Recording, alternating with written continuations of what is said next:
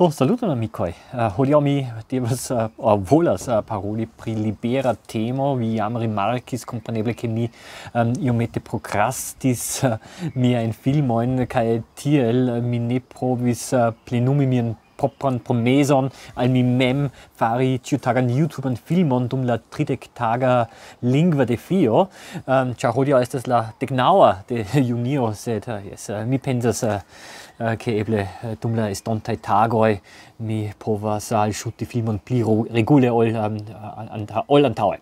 Do hodiaŭ mi volas uh, paroli pri uh, nova temo, mi uh, volas mi electis uh, la temon vorti celoi. Do eble vi neniam antaue audis uh, pri tiui bestoi, bestetoi, Mi pli eh, uh, juste devas diri um, ili estas fakte ili ne estas besto ili estas tilomataj protozooj ehm, um, kai oni povas uh, trovi ilin en aquo kai hodio mi simple volas montri uh, ilin al vi.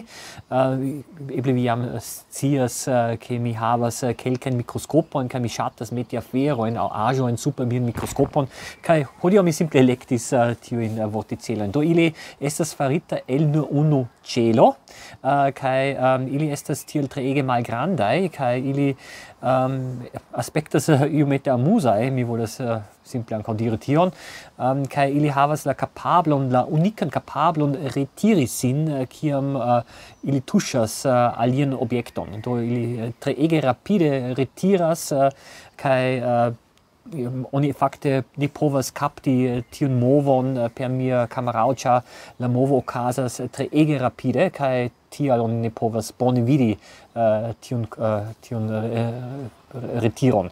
Do, ehm, um, kai um, ehm, kion ili manĝas? Ili man, manjas bakterioi, kai ili havas multajn malgrandajn haroin, uh, circa, la mine volas diri kapon, circa la kapo, cioè ili ne havas kapon, sed circa la la la, la ja, la supran parton do uh, kai uh, tiui haroi uh, movas kai uh, tiel ili ankaŭ povas kapti uh, diversa in bakterio en kiu oni ankaŭ povas trovi en la akvo. Do, yes, uh, eh, mi pensas ke tiuj uh, vortice, vorticelo estas uh, treege interesse uh, uh, protozoe kai yes. jen preskaŭ ĉio kiun mi volis uh, volis rakonti al vi hodiaŭ. Do, ĝis revido.